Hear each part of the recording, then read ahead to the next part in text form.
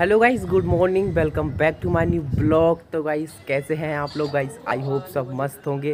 Guys अभी time हो रहा है। गाइस दस बज चुके हैं। देखिए, अभी हम जा रहे हैं कॉलेज के लिए और आज चाचा और आनंद भाई साहब दोनों आ रहे हैं कब शॉपिंग करने के लिए। तो उनका फ़ोन आया था। मतलब उनका तो नहीं आया, घर से फ़ोन आया था। वो पाँच बजे निकल गए घर से। अब मेरे पास फ़ोन नहीं आया। अभी दस बज गए हैं। बहुत टाइम हो गया ना।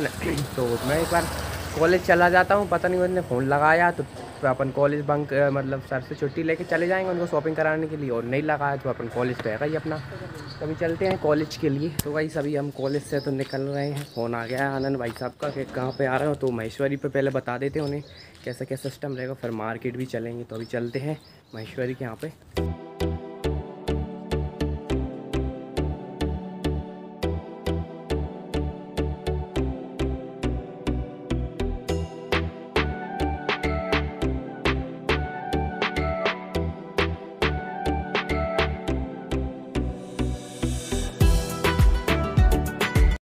तो अभी गाइस फाइनल हो गए हमारे बहुत सारे पीस अब चार हो गए, दो है आने भैया ने, दो चाचा ने लिए अभी हम जा रहे हैं, ये कुछ, ये हैं अपने।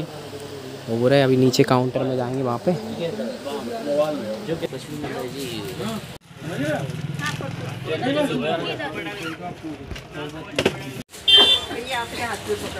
फिर आप अपनी बिल बुक में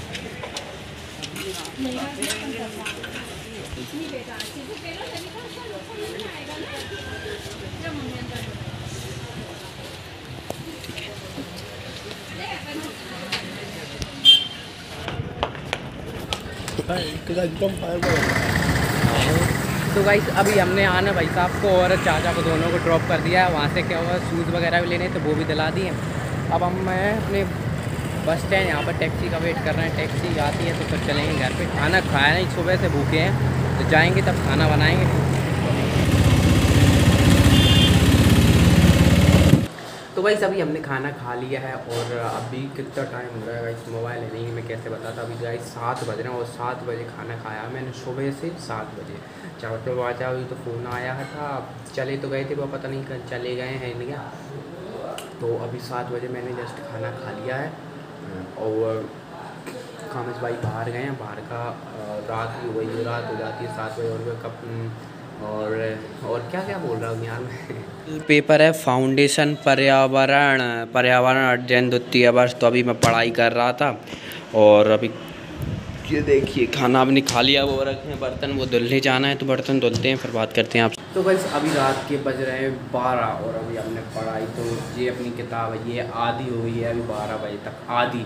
तो मतलब सुबह भी उठना है तो सुबह भी इसको पढ़ेंगे मतलब एक दो बार रिवीजन हो जाएगा तो थोड़ा बहुत समझ में आएगा। मतलब एडिंग एडिंग पढ़ लेता हूँ, फिर वहाँ पे अपने विस्तार, अपने हिसाब से लिख जाते हैं यार। वो जैसी है कि पूरी थोड़ी ना याद हो पाती है जितनी सारी हैं। ये पूरा वैसे एजेंटली थोड़ी ना याद हो पाएगा। तो अपने हिसाब से लिखते हैं, पर्यावरण है यार, अपन तो देखते हो किसान है अपन गाँव से तो पर्यावरण के बारे में क्या क्या लेते हैं? और हिंदी मीडियम वाले, हिंदी की लैंग्वेज में कुछ नहीं लिख पा कैसी गलत बात है।